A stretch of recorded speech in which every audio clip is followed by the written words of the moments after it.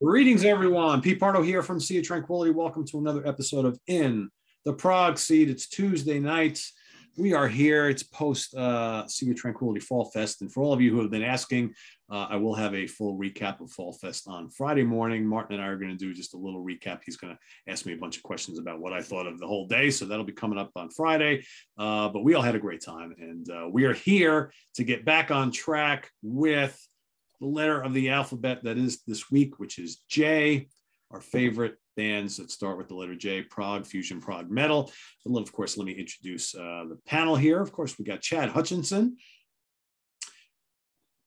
We're keeping him up late, and man, he just got back from a 10cc concert like earlier this evening, probably not even that long ago. Stephen Reed. We've got Eric Porter.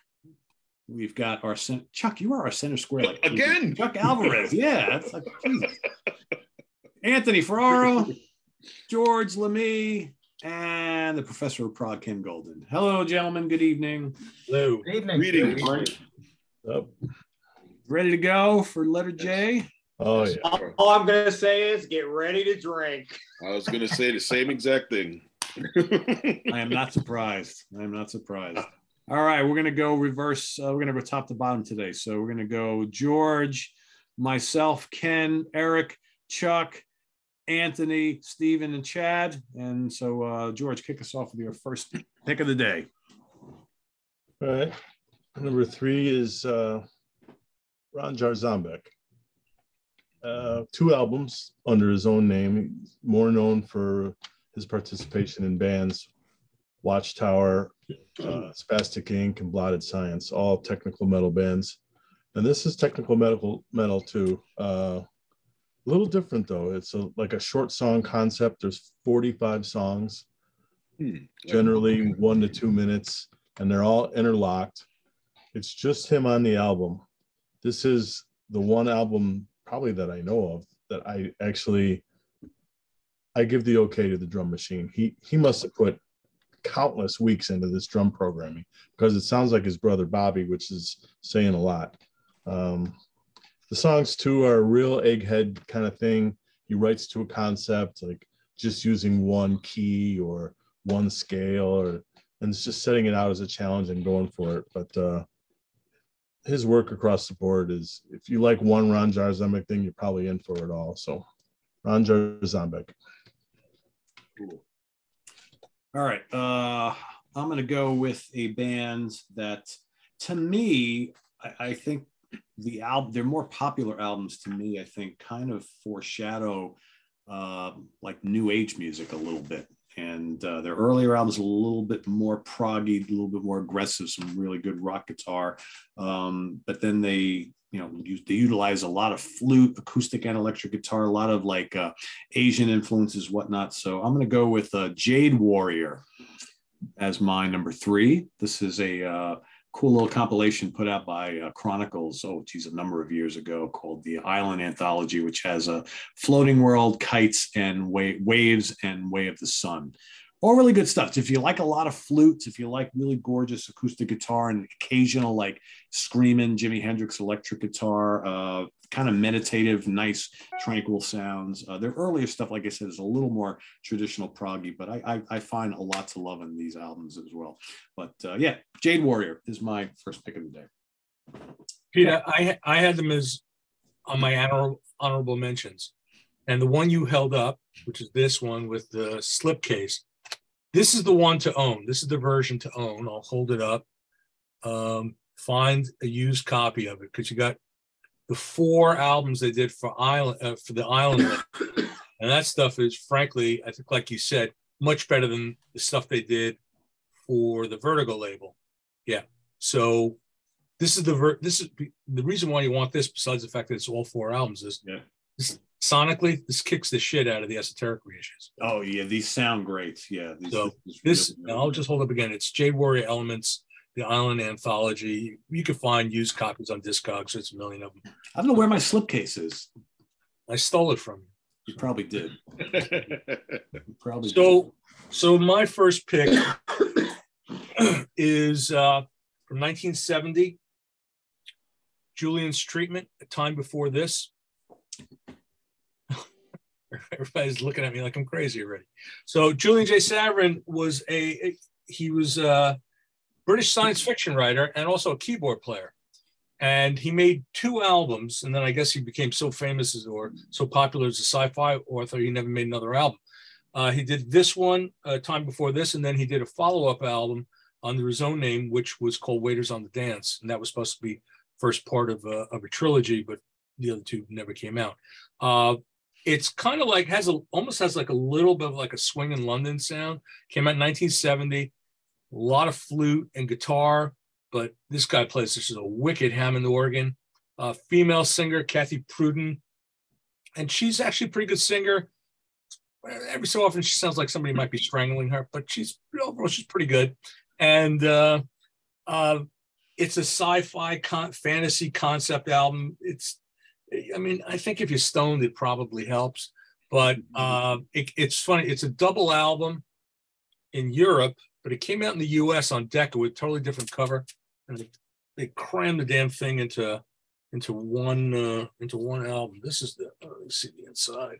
It's got a. Uh, did I get it right? Yeah, you can see the crazy artwork. And, uh, anyway, you like the Hammond organ, you know. It, I guess we call this proto prog now. I guess there's a there's a you know it's not as developed as you know it's not Gentle Giant. This is not, but you like Hammond the organ, flute, that kind of thing. Julian's treatment time before this. Sounds good. Eric. I'll hook you up, Pete. Okay.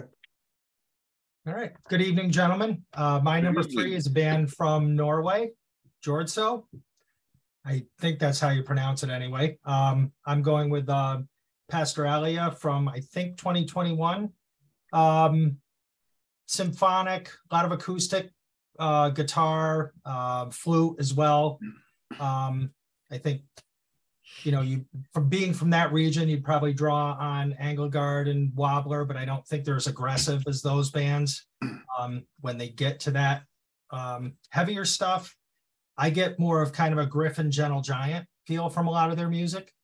Um, I only have two, but I really like this one. Um, and like I said, I think um, they have two main guys, and then there's a bunch of other players because I think they have a lot of stuff, clarinets and cellos and things like that in the background going on as well. But really good band if you like that kind of more pastoral. There's some vocals, not a ton of vocals, but there are some. Um, so again, Jordsjø, and this is Pastoralia from 2021. Nice pick, man. Mhm. That's a good band. Mhm. It kind of reminded me of Eldsmark. You guys know Eldsmark? Mhm. Uh, they were a Swedish band, but uh, yeah, George. Yeah, I got a lot of Gryphon from them, I think, was Gryphon, Gentle Giantish kind of. If you, eh, you know, it's like you said, if you like White Willow, you like Wobbler, Änglagård, that whole has a pastoral feel. Yep. Agusa, Agusa, Yeah. that kind of thing. They're, they're, they're pretty good. There's, uh, they're in one of my honorable mentions. Chuck. Well, mine is um well once again good evening guys it was all a pleasure to see all you guys um this weekend I had a great time man um what's that my number three is not really that um progressive and so but it's from this group's um progressive era you know what's before they became a total pop band it's the second of the three albums um what's it that debuted on journeys i picked this album over here you know, because it's my this happens to be my favorite of the three. You know, it might not be as good as the first one or or the third one, but I find my I find myself listening to this one more than I do the other three. And this one over here is um, look at yourself. I mean, look into the future, and that's my number three, Journey, when they were still uh, basically near prog, and so Tremendous album. Yeah, those Mhm. first Love it. Are really great. Chuck, how tall are you? six feet. You seem taller. I was like, I was, I was, I was like, holy cow, Chuck is gigantic. You, you know, I hadn't seen Ian in many um, Ian Cars in quite a long time, and so and I couldn't believe that he. I can't. I couldn't forget that he was taller than me. You know, Ian Cars is like like six three. but uh, I said, yeah, I'm six feet tall, man. And he seemed taller. I was like, holy cow, Chuck is. All right, Anthony. All right, my number three. Um, you guys aren't going to be drinking yet, so uh, brace yourselves. My number three comes from France. I'm going with Jean-Michel Jarre. I'm going with Equinox from 1978. This is coming off the stellar debut Oxygen from 1976. Synthesizers galore, some mellotrons, just fantastic atmosphere. So I'm going with Jean-Michel Jarre, Equinox from 1978. How come nobody ever picks oxygen? What's that? Nobody ever picks oxygen. I've picked Oxygen in the past. I like that. I like oxygen. Yeah, I like Oxygen a lot. Great album. Yeah, I, I remember you talking about that. It's a while ago, but yeah. Mr. Reed. So, well, my first pick out. I'm disappointed he's not on the show because this would not be Lewis approved at all. Is it Krog? nah, I don't know, but Jay was really thin for me, really thin. So I'm starting with Jon and Vangelis. Is Mm-hmm. where I'm starting, and I'm breaking all kinds of rules here um, because this is their best of. We don't do best ofs, but there's no doubt this is their best album because it picks the best tracks off Goodbye to Mr. Cairo, which is my favourite of the studio albums, but it also comes before 1991's Reformation album, Page of Life, which is absolute garbage. So this really does pick all the best things. It's Jon Anderson and it's Vangelis. I mean, it's as softy as a softy thing could possibly be, but I really like it. So my first choice is Jon and Vangelis. Mm, I love it. Mm, I agree. Someone's pulling a Catino today. Here we go. All right, Chad. All right, my first or my number three, I should say, is uh, a trio of the An- Anders Johansson, Jens Johansson, and Allan Holdsworth. The Heavy Machinery album. It's a interesting mix of like heavy fusion and progressive with some jammy stuff and some uh, some uh, um, more I don't know groovy, more, a little bit more groove in this than maybe you expect out of a fusion album but I've always enjoyed this one. It was a little different than you're going to get out of a, uh, a Holdsworth solo catalog. Um, so yeah, always enjoyed a nice, nice heavy stuff in, in here. Not metal heavy, just dense heavy. Mhm. So Kind of Planet Hanson- X, Hanson Planet X heavy, you think, right? what's that? Kind of like Planet X heavy. Yeah, yeah, yeah, yeah. Yeah. And, but even not even quite that metallic. Yeah, yeah, it's a really good album. I'm glad glad you picked it. Good stuff. All right, back to George.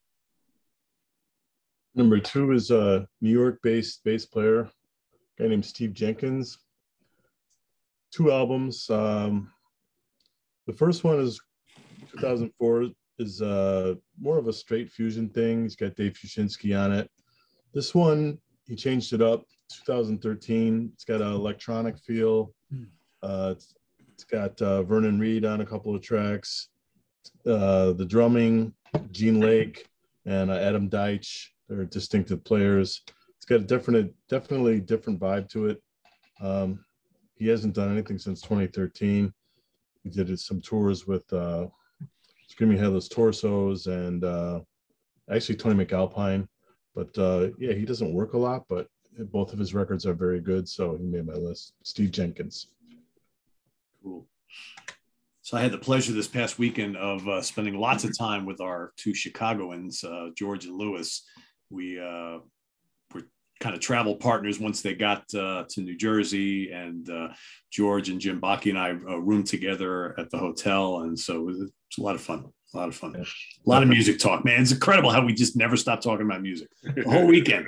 You'd think after a while we'd talk about like you know pizza or or burgers or baseball, whatever. We just kept constantly, constant band talk. It's like it's crazy. Well, I think Jim was talking pizza a little bit because I heard how much he misses it in California. So he was eating as much as he could while he was here, I think. I don't know if you guys saw. So uh, Rick and his uh, girlfriend Paula really wanted to uh, go and get some New York pizza. So they went into New, New York City, and the first place they went to, all they had was Detroit style pizza, which you get all the time up where he's from. He's like, "What? I came all the way here. I don't want Detroit pizza." I told him on Facebook to go to Katz's for pastrami. Oh yeah, yeah. Yeah, I saw that. And uh, you know, I, I would say that maybe he should try like a New York slice, like go to someplace like Joe's on Bleecker Street. yeah. Uh, yeah, I didn't want to. I didn't want to pile on too much. I know they did. I think uh, the two of them and the La- and Jamie Laszlo and his wife. I think they went to an Italian restaurant uh, that night or something somewhere. They met somewhere. So, which is good because Italian in New York City, if you go to a good place, is damn good. Many of them. Mm-hmm. All right, my number two. Uh, it's got to be the German band Jane. Uh, I really like this band a lot. I, I, couldn't really pick what my favorite. I never really know what my favorite album is by them. You know, everybody cites Between Heaven and Hell, which I really dig a lot. But man, Fire, Water, Earth, and Air is terrific as well. If you love just uh, you know early mid '70s Hammond organ, lots of guitar. It's kind of spacey. It's kind of hard rock, and some of it's kind of symphonic. Uh, all the Jane albums are kind of a little bit different from each other. Uh, just a, a terrific, terrific German band that rocks um, they got a whole bunch of albums. I have like probably like eight or nine of their albums, but uh, you know they got a little bit more commercial later on. But the '70s stuff is really really great. So uh, Jane is my choice for number two. Eight through live records really good. Yeah, it is. It is. Jane, Jane at home. So yeah, yep. my honorable mentions. All right, All right my, my number two. Well, I you know I'm not presenting these really in, in a specific order, but um, so this is a band that made well four albums, but we always think of them as three albums, and all three are fantastic. British band called Jonesy, and uh, Jonesy recorded for the Dawn label, which was the yep that was the prog sub label of uh, Transatlantic. They were British band. They made three really great overlooked, I think, overlooked albums in the early 70s they just never got any traction outside of the UK. They never had anything released in the US. They had albums released in other countries, but they were a non-factor here. Uh, music has a lot of similarities to King Crimson. Mm-hmm. There's lots of mellotron, really excellent vocals, and I think the guitar work is exceptional on these albums. Yeah.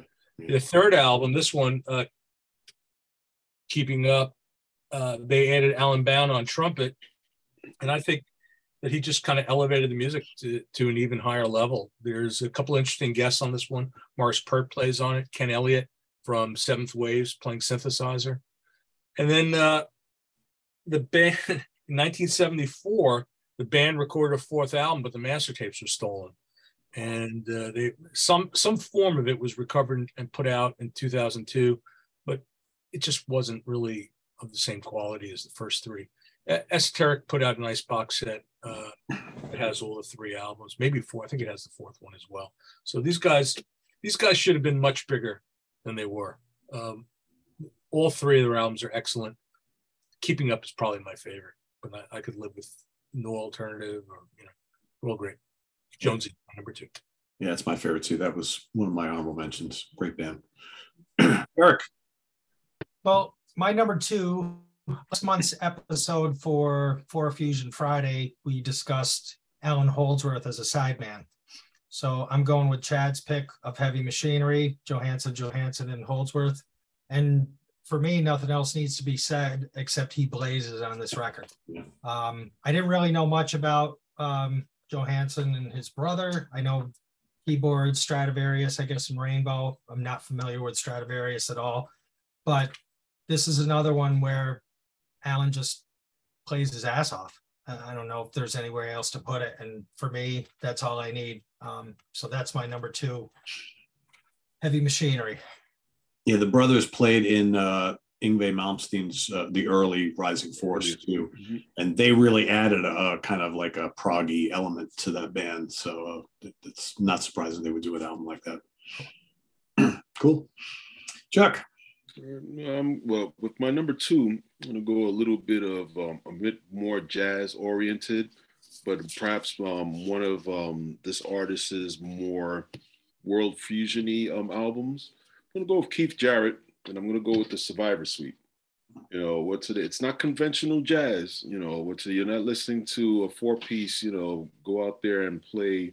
You know, what's a conventional jazz? You know, this over here has elements of um, of Asian music, um, the Orient from the East um, Asia, and so um, what's you have um, the folk um, bass of um, of Charlie Haden, and you know the percussion of um, Paul Motian, you know what's it, and then you have um, what you have um, Dewey Redman with the Chinese uh, musette, You know, what's so there was a lot of um, a lot of um, interesting instruments being played on this album. And you know, what's a, you would think of um, Keith Jarrett as just this pianist, but he also plays the soprano saxophone on this album as well. Um, what's that? This is perhaps his finest hour with that quartet that I just mentioned, and this is the Survivor Suite, and that's my number two. You ever like total up all the albums that he's done or appeared on? It's ridiculous, all right? the amazing albums, all of them. Mm-hmm. Uh, You know, And he, and he grunts and groans through all of them. yes, oh, he does. Dri- drives me crazy. Drives me crazy. Oh my god. And ECM is still cranking out albums of his, like Oh, all live man. performances. Every, every other month, I, I get an email like, "Oh, another Keith Jarrett release." All right. And he he's supposed to be the world's biggest dick. I met him, and he is. He really is. Yes, He, he really is, man. He, he he's he's such a anyway. I don't want Yes. to go on the show. talented guy though. he chastises his audience. Mhm. You know, Wor- he's worse than Fripp. They're not silent. He won't play. Yeah, I mean, I remember. Didn't he walk off it like in Rome or something like that? He like he, yeah, he chastised the audience and he walked off. Crazy. Well, well, he can't play no more. He has like a um, a, uh, what's it, some type of um, neuro, neurological, neurological um, what's it, um, um, what's it, um, nerve damage in his hand. Like carpal tunnel or something like that, or No, I think it's a bit more worse Worse? than that. Yeah. You know, so I know that he's not playing anymore. Yeah. Mhm. he's not playing, but they're releasing they're releasing albums by him. They got a lot in the vault. Oh yeah, they do. Yeah, yeah. That's a great sounding album, by the way. Survivor. It, it really is, man. Mhm. Great album. All right, Anthony. My number two contains a double from the Pied Piper and Eddie Jobson, Jethro Tull A. Jethro Tull is one of my all-time favorite bands, but you know I had to pull this because I had both of them on there from 1980. We all know my favorite Jethro Tull album is "Songs from the Wood," but I just brought this out just for this. So 19, 19 or my number two is Jethro Tull. Well, what can I say? Ian, I thought was one of the best frontmen in the 1970s, and and with Barriemore Barlow and John Glasscock as a rhythm section, form, formidable. Fo- they were just phenomenal in the 70s. So I'm going with Jethro Tull number two, and I'm going with the double whammy of Eddie and Ian. Of course. Jethro Jobson. got through a whole weekend last week without mentioning the A album. Oh man. But he did have Elias with him. That's right. That's right. It's funny. I fully expected we were going to get a, a question from the audience that had to do with Eddie, but uh, instead, someone brought up the whole Elias and Yep. Anthony and Lewis, uh, you know, back and forth, which I thought was great. It was good to hear you both kind of talk about. It. That was good. All right, Stephen, back to you. Well, my number two has already been mentioned. Uh, it is Jean Michel Jarre. And, well, Ken may correct me, but I thought I'd chosen Oxygen a while back as my favourite. I chose Equinox in my absence when I sent in the list for the French show. So I've actually gone with 2018's Equinox Infinity. Mhm. Um, I quite like Jarre through the eras. I quite like Revolution and Rendezvous. Yes, they're a bit 80s and a bit parpy in terms of keyboards, but I think they're still quite tasteful. I think that they're still quite good. Other than the fact there's a dance anthem on this, this is a real return to form and it's really, really good. Uh, and I was pleasantly surprised because he's not really done all that much of great note in, in recent times. And I'm always frightened when anyone kind of revisits Equinox Infinity. Doesn't really, other than the fact that there's kind of something similar on the cover, and it was 30 years after Equinox, it doesn't really bear any resemblance to it in terms of sound or style. But it's really good, and I really like it. A- And I actually play this quite a lot, other than one song on it. So yeah, Equinox Infinity, Jean-Michel Jarre. I think I probably mentioned both instrumental synthesizer players that I've actually managed to break through in the mainstream in one show. That's not bad going. One kind of by default because he's a V, not a J, but there you go. So yeah, Jarre for me. You know, you know what think? David, do you have Zoolook on? Yeah. Do you have Zoolook on CD or LP? I've got it on vinyl, yeah. Yeah, you know who plays guitar on that record? Who plays guitar on that record? Adrian Belew. Ah, there you go. I did not know. that. Well, I certainly didn't remember. Well, I it. was I was at a re- I was at my local and it was in like the dollar bin. It was in Immaculate Con- shape. I looked on the back. I'm like, oh, I might as well pick this up. Adrian Belew's on. I still haven't played it yet. it's a good album. It's a good album, yeah. It's a bit different. Actually, I was going to say, I, I was Anthony. I was surprised he didn't pick that particular one because of Belew. So it's it's good album. Yeah, it's a good album. A little different. All right, Chad. All right, mine's been uh, my number two has been chosen, but I'm going to pick a different album. I'm also going to go with uh, Jordsjø uh, from Norway. Uh, as Eric mentioned, they started as a as a duo uh, in 2014. This is this one's their fourth album from 2017. Um, the duo of Hakan Oftberg and Christian Froland. It's just fun to say those names. Uh, but yeah, like you guys said, it's good sort of pastoral, um, symphonic, Scandinavian goodness.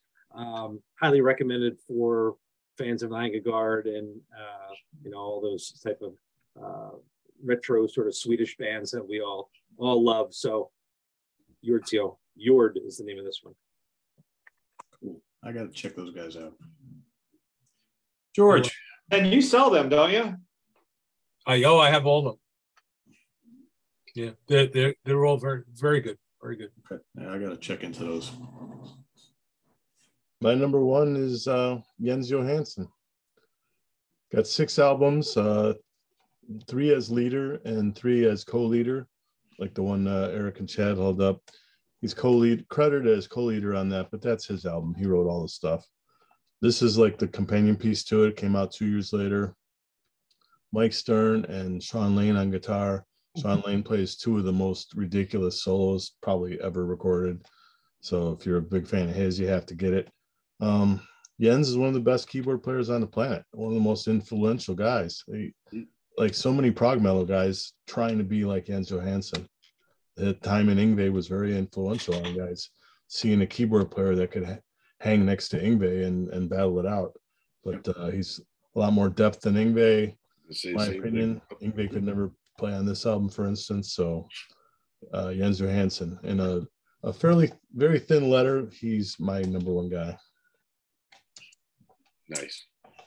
Yeah, and I think uh, no disrespect to Stratovarius, who I like, but I always kind of thought that he's been kind of wasted in that band. I said that once on that board that Ken and I used to hang out with, and he's like, "Why can't I do both?" I'm like, hmm, "I guess you're right." But now he's not doing these kind of records, so yeah, he was he was good with Mastermind. He was yeah. really good with Mastermind. Yes, he's good on everything he guests on. He's like stunt keyboard player. Yeah, he's everywhere. He's playing. He played with Rainbow, right? Didn't he do that last yeah. Rainbow? Yeah. yeah. That's where most people remember him from. Yeah. Yeah. That's where I remember him from. Well, the funny thing is, for me, his work in the early uh, Rising Force albums with Yngwie are very reminiscent to what Blackmore and Tony Carey were doing on like Rainbow Rising. Mm-hmm. So it's yep. kind of like a more updated 80s version of that. That's what I the way I always took it. So yeah, it's great, great player, really good player. All right, my number one should be no surprise to anybody. Uh, Chad and Ken's favorite band in the entire universe, uh, Jethro Tull. And I, you know, my for whatever reason, like over the last like year or two, uh, my favorite Jethro Tull album seems to be constantly changing, like every couple of months. So for years, I've always been saying that Benefit was my favorite Tull album, and I still love it. But I don't know, man. Minstrel in the Gallery has kind of been it for me for the last year or so. I I, I love the heaviness of this album. It's proggy. It's got some folk on it. It's uh, it, to me, this album kind of encompasses everything they were doing like in the early mid 70s. But uh, I, I I could say every other week I have a favorite favorite Jethro Tull album. Some days it's Thick as a Brick, sometimes it's Aqualung, sometimes it's uh, Songs from the Wood, Heavy Horses, Stormwatch. I don't know. They're all really great. But, um, but yeah, I'm going to go with uh, Minstrel the Gallery. It's got a couple epic, epic tracks on it. It's got loads of Martin Barre guitar on it. Um, it's pretty complex and, and cool. And uh, yeah, I love the production as well. So Jethro Tull is my number one. And sadly, Pete, Baker Street Muse was never played live. I know, Incredible. right? How crazy is that? Incredible. yeah. Still boggles my mind. One of their best epics, right? Yeah. Yep. Oh my God. Yeah. Bo- boggles me too. boggled. Sean. You Dad's look losing totally sleep boggled. over it every year that it doesn't get played, right? Yeah. Amazing. Really. It's great. Is that a song? Yes. You know, there's this misconception that I don't like Jethro Tull. I do like Jethro Tull. I just don't go deep on Jethro Tull like, you know, a lot of the other 70s bands. For okay. Fair it's enough. fun. You know, I, We all can't be perfect, Ken. I, I own a lot of Jethro Tull albums.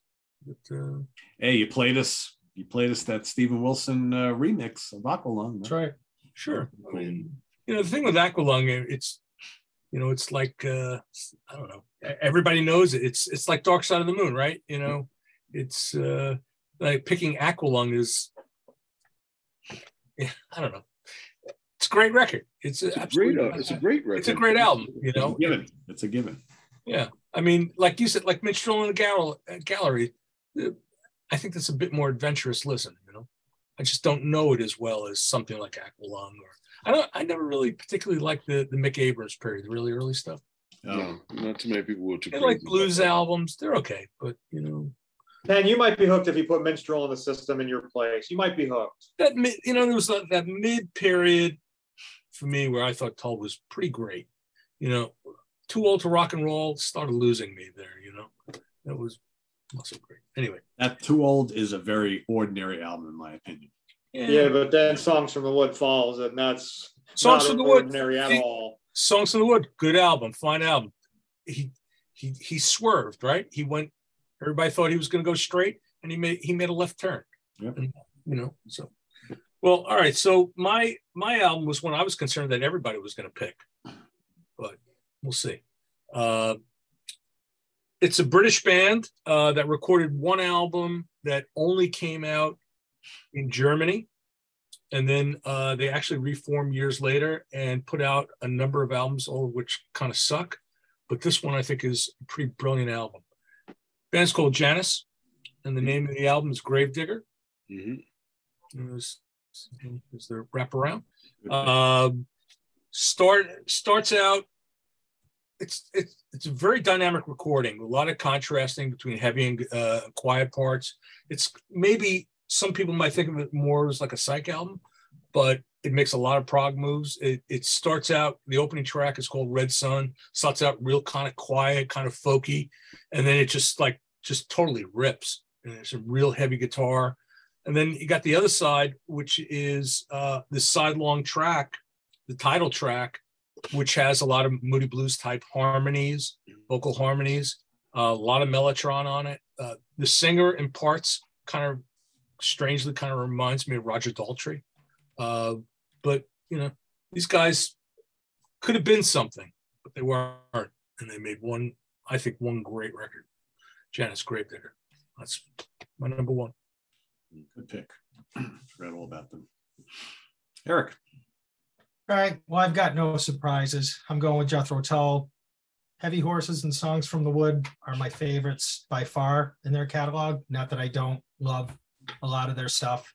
Um, and thankfully, we didn't exclude Jethro Tull from this one because Jay was a tough letter. Very- But they have to be my number one. I love them. So, Jethro Tull.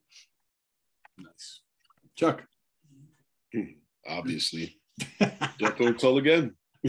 and my pick is uh, a passion play. Oh, great pick. Love that. Um, what's it's an album that many people don't pick and so, but um, outside of um, Benefit and so, this might be my second favorite album, you know, by the band, you know, and they've made some amazing albums, but this is the album I usually tend to listen to quite a bit. A Passion Play, Jethro Tull is my number one.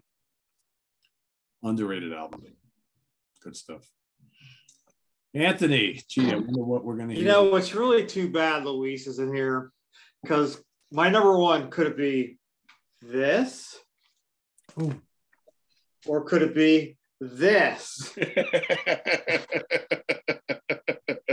I'm going with Eddie Jobson, number one. Everybody knows my love for the man. He's my all-time favorite keyboard player, my all-time favorite violinist. This is his all. This is his debut, the Green Album from 1982. Whoa, whoa, whoa. You like Jobson better than Jean Luc as a violinist? No, I guess not. All right. He's my go. favorite keyboard player. He's my favorite keyboard player. Sorry, Jobson, but Jean Luc rules. 1982, Eddie Jobson's debut. All right. Good to know that some things are just always going to be there, like comfort. how, how many copies of that? Do you have that on cassette and eight track too, Anthony? I've been looking for it on cassette. I have it on CD. Okay. Cool. All right, Stephen, you're number one. Not good going so far down the list, is it really? So at least I've chosen a different album to show. So yeah, Jethro Tull, realistically, give or take, there's a six or seven album run I could just have closed my eyes and gone, this one. And I could have told you it was just about my favourite. But I've gone for benefit. I mean, this is the expanded deluxe set, which is really great. Love it. And I've listened to this so much since it came out because all the live stuff and everything that's on here is just outstandingly good. I've raved about it before, and it's just maybe go back to the main album over and over and over in recent times. So yeah, no surprises. Jethro Tull yet again, but I've gone for benefit from 1970. Love it. Great, great stuff. Yeah, the live stuff on that are just is just killer. Yeah, isn't it? It's just so on the money. It's fantastic. They have set the bar for box sets, man. Yeah. No way. That's, that's the right way to do it. Yeah, it is. Yeah. All right, Chad, what do you got? Well, I'm going to shut down the love fest for a minute, and it's not going to be Jethro Tull. There's a shock. Um, actually, I'm going with a newer band, uh, one that Ken turned a bunch of us on to a couple months ago. Italian space rock band called Jalayan. Yeah, this is their second album called Floating Islands. They have one other one called Sonic Drive, which I've not heard. I don't know if you have that, Ken. I don't. Uh, what's that? I don't have it. Haven't heard. Yeah, I might have to hunt that down. This is real uh, aggressive space rock, real good biting guitar, uh, really cool keyboard sounds. Um, you get some of that Ozric Tentacles bubbling going on. Um, so I guess this guy, this is a quartet from from Milan, Italy. Uh, I don't know a heck of a lot about them otherwise, but fans of Ozric Tentacles, Quantum Fantay, uh, Hidria Spacefolk, definitely up your alley. Fantastic space rock album. Floating Islands by Jalayan. Yeah, great choice. That's a really, really good album. Good choice. George, you got any honorables? Yep. First one is Jelonek, Polish band, violin led, progressive metal, all instrumental. But mm. really good production, uh, crunchy riffs, and the violin player, his sound is great. Benny Jansson, Swedish guitar player, plays with the Johanssons a lot. Jens Johansson, wails on this one, big time. Kind of like a more metallic Holdsworth. And Scott Jones, another guitar player, St. Louis area, two albums, works really slow. This is 2004, and then there's one in two years ago, and that's pretty much it. I know he had some hand problems. Uh, just seems to be a guy that never puts it up, gets it all together and gets it going, but both albums excellent. Scott Jones. All right, I just got a couple here. Uh, this band uh, was around in the 70s from Connecticut. One of their members uh, went on to join the band Archangel. The other one was a vocalist from House of Lords, Jasper Wrath. Yeah. Pretty cool symphonic art rock band. Pretty good album. This is a cool little anthology which uh, collects, I believe, everything they did on two CDs. Really, really good stuff there. Uh, I'm also going to go with uh, Jonesy. All right. Really like this. Almost made my top three. That's quite a good choice uh, if I. And then my last one. Uh, this is a band from South Africa. They're a pretty heavy uh, and rock and prog band. So I guess I don't know what. And this is an old album from I think '72. So I guess you can kind of call this maybe proto prog, proto metal. But there's definitely a lot of prog on here. There's definitely a lot of um, South African influences, and they're from South Africa. The band is Jericho, self-titled. Jericho is they were Israeli. Were they Israeli? Yeah, they were the Churchills. Oh, you're right. So why do I keep it says South Africa everyone? I'm, I'm sorry to correct you. Um, they yeah they were they were Israeli and uh, uh, they made two albums. Jer- well, they started out as the Churchills, one of the rarest psych albums you'll ever find, right? and then they did Jericho, and then they were Jericho Jones. Jericho Jones. They they had two albums. One is Jericho, and one is Jericho Jones. It's fine stuff though, and it's it's heavy in spots. And there's lots of uh, interesting percussion and things, and it's uh, there's definitely some psych going on this album as well. Uh, but when it does get heavy, it's pretty heavy. So yeah, it's a very very cool album. When you were talking about South Africa, I thought you were going to talk about Joburg Hawk, Oh, Johannesburg Hawk, which which was a big prog rock ensemble from South Africa that put out an album on uh, that came out on Charisma.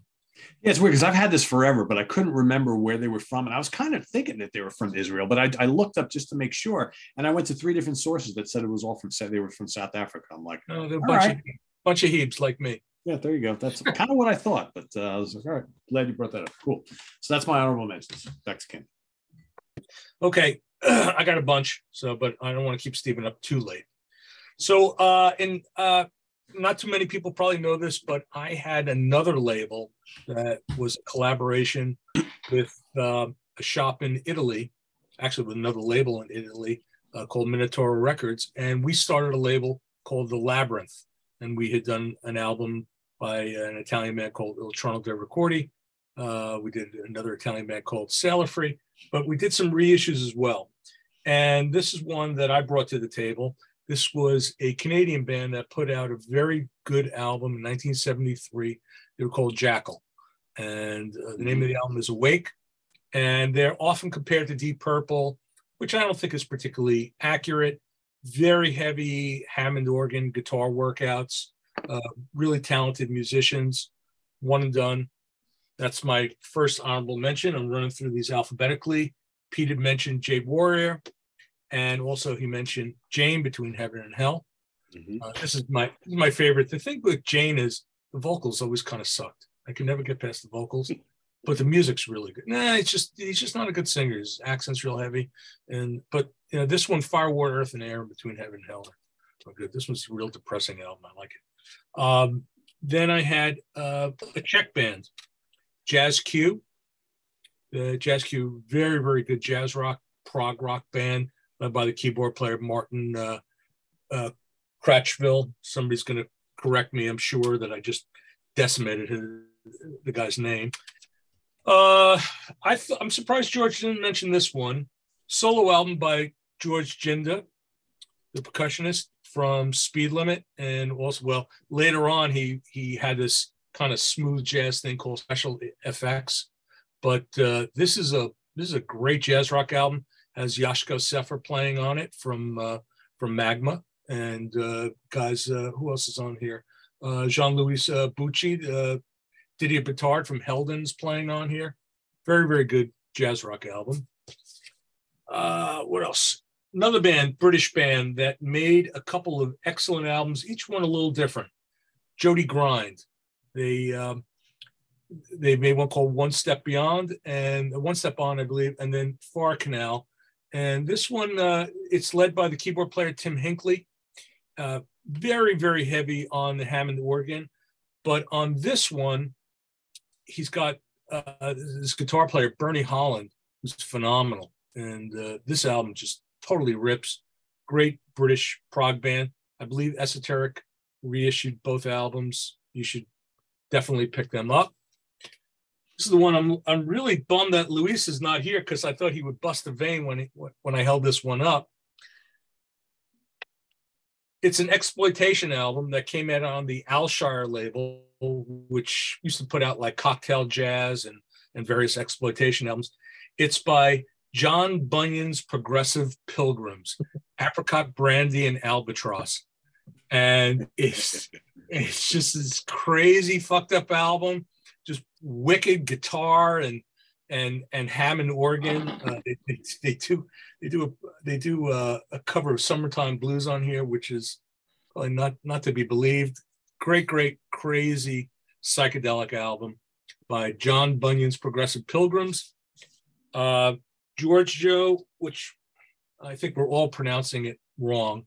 This is Naphelion. Again, I'm sure that's not the way it's pronounced but uh, very, very good album.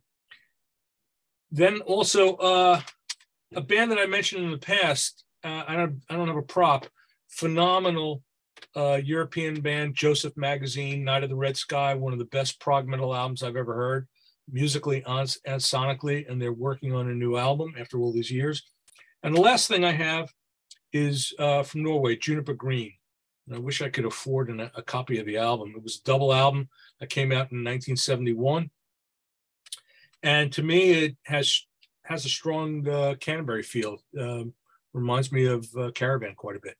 They were they uh, made a number of albums, but uh, Friendship was was their uh, was the one. So Juniper Green, and that's what I got. Cool, good stuff there. Eric, uh, I've got two that actually haven't been mentioned. Usually my honorables get hit. Um, this one might be a cheat, but considering the players that are on it, I'm going with Jazz is Dead. And uh, I think this was T. Lavitz's band, but they had a ton of guys that went through this. I love Jimmy Herring. He's on these albums. I think Alphonso Johnson, Rod Morgenstein, Jeff Sipe. So a number of guys who um, are in the scene and they basically do instrumental versions of dead tunes. Mm-hmm. And I'm not a deadhead, but I love Jimmy Herring's playing. And a band that I don't normally go to Neo Prog, um, but Jadis, their first couple. Um, this one I think is Once Upon a Lifetime, which was an EP. Uh, More Than Meets the Eye and Across the Water were the three that I have. I always like Gary Chandler's guitar playing, mm-hmm. um, kind of a Gilmour-ish uh, player. So those are my two honorables. Didn't uh, Cobham play on that first Jazz from Hell? Yeah. I, you know, I know he was in the band. It was very brief. I couldn't remember if he played on that. I should. I got to pull it. Um, he played on, I think their their first album. Was yeah, it? He was on the first one. The full album, or was he just on a couple tracks? I don't remember. I think it was. I think it was. yeah, he Cobham was definitely a member for a bit. And I said Jazz from Hell. I meant Jazz is Dead. Zappa. I listened to a lot of Zappa in the car over the weekend. All right, Chuck. I just have one. You know, what's that? Um, it's a band that uh, featured uh, David Sylvian. You know, uh, what's that? Mick Karn and um, Richard Barbieri. Um, what's that? Um, I'm going to pick um, what's it? Japan's last album. You know, what's that? The other albums, um, what's it, the prior four albums had a lot of glam rock um, influences and so, but it's on this album that you got to hear their um, the the, the what's the direction that that um, David Sylvian will actually go into with um, Secrets of the Beehive um, and all these other albums, which were a bit more ambient. And everybody knows of Rich Barbieri, who's now with Porcupine Tree, you know, who's done other stuff. And then you also have Mick Karn, who brought um, his Middle Eastern um, roots into a lot of these albums over here. And this is perhaps their most progressive album, progressive sounding album, and probably the closest that it was to David Sylvian's um, solo career. And that was that's my only honorable mention. That's um, Japan's Tin Drum from 1982. Mick Karn, greatly missed. Very much so. Mm-hmm. Anthony. Uh, I got three. Uh, Jon Vangelis, uh, Friends of Mr. Cairo from 1981. This is probably my favorite of theirs. Uh, another one that Chuck said, I'm going to go with their debut. Journey's debut, I think, is phenomenal sounding with Neal Schon and Greg Rolie, just and Aynsley Dunsmore on drums. Just phenomenal record. And then last but not least, uh, former bass player Weather Report, uh, played in Billy Cobham's band, played with Phil Collins later on. Uh, Alphonso Johnson, he's got uh, three. This is his debut. Moon Shadows, really fusing great stuff. I love. He hasn't sing, but with with Cobham's band, he did sing a little bit. Loved his voice. So great musician, Alphonso Johnson. Great, great, great choice. Those are good. Yeah, yeah, nice. Steven.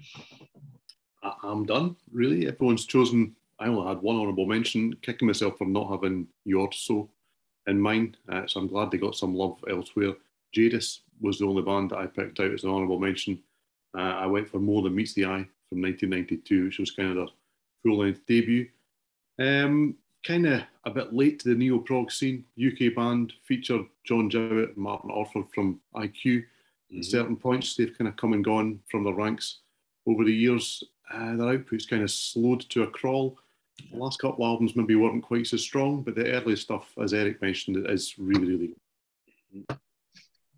They weren't. They didn't sound like IQ. They were totally different. No, they're yeah. much more accessible. Mm-hmm. Yep, absolutely. It was much more song based. You could hear the the camel influence on them, and so. But It's probably like a more of a mix between Camel and I would say like um, late period um, Pink Floyd. That's uh, yeah, that's, that's, a really good description of them actually. Yeah. Yeah, I thought they were like a less keyboardy kind of Pendragon too at times. You know, mm-hmm. a little bit more accessible than Pendragon. Yeah. It feels like to me there's a qualitative difference between a band like that and, and IQ. Yeah. Yeah, I I've always kind of viewed Jadis as kind of top of division two, if that makes sense. That they're kind of they never quite broke through into what you thought they might have been. Second second tier neo prog. That's what I mean by division two. Sorry, very yeah. much UK is on there. Yeah. yeah. I would say second tier, but the, the early stuff is well worth listening to. Yeah, it's enjoyable. Yeah, for yeah, sure. I think so. Chad. Okay, I got a couple. Uh, some of them have been mentioned, some haven't. Just to make you guys happy. Honorable mention for Jethro Tull, but I'm taking thick as a brick. I've always really liked this one. Uh, when I did the, we did the Jethro Tull versus Rush, Signals versus Broadsword. I did a lot of, uh, I'll call it research. Went back and listened to some of those mid-period albums, and I did like songs from the so to, yeah songs from the Wood and some of those albums in there. Those are those are quite good, but that still stands number one for me. Um, Jade Warrior was mentioned. Um, now, Anthony, I, I, I will put Eddie Jobson on my list. There's no question, but I am not holding up Zinc because I don't like Zinc. I don't like that album at all. I don't like the way it sounds. I don't like the way Eddie sings, but I think he's a phenomenal player. He played Nearfest twice and blew the house apart. He's an awesome player. He absolutely deserves to be in the J list. I just I can't hold up Zinc. Can't do it. Just can't do it. Hold it up for him, Ed. I, I agree. And for the 75th time. I agree with Chad. I, I don't like that album at all. Yeah, sorry. Who asked you? I love Eddie Jobson. IQ or uh, UK is the, is the pinnacle for me for him, but I just I, I can't hold up that album. I don't. I like. Have you ever have you ever checked out Theme of Secrets? Theme of Secrets is a better record. Yep, it is. Much agreed. Um, Italian band, Jet Lag, kind of in the uh, Deus Ex Machina meets DFA realm. Real nice album. This one is called uh, Delusion, Delusion Optica. Destroyed that. Um, U.S. supergroup, the Jelly Jam. Oh yeah, yeah. It's Rod Morgenstein. Let me just drop it. Um, uh, Ty Tabor from King's X and and John Myung from Dream Theater. Mm-hmm. It's not all that different than a King's X record for the most part, but it's pretty solid. There's some great guitar work on this, and uh, Ty's voice is always great. Um, first Journey album is on my list. I like. Uh, there's certain songs like uh, of a Lifetime. Uh, just you know, just just great early stuff uh, still in the progressive realm. Like you guys said, the first three, four albums are great. Uh, and then my last one is uh, Jadis. The only one actually I have from them is Understand. Um, or is it Understood? Understand, because I was correct the first time. Understand. Um, and I, I agree with Steven. They're good neo band, maybe top of that second division, that, that second tier. So those are my honorable mentions. Cool. Sounds good. So, of course, everybody watching, what are your favorite prog and fusion and prog metal bands that start with J? Put them in the comments below, as always. And uh, visit us on the web at www.seatranquility.org. We're on Facebook, we're on YouTube, all together, all the damn oh, all time. the damn time. Stay tuned for another episode of In the Prog Seat next Tuesday night. Till then, for Chad Hutchinson, Stephen Reed, Eric Porter, Chuck Alvarez, Anthony Farrar, George Lemay, and Ken Golden, I am Pete Pardo. Have a good rest of the week, everybody. Take care. Night.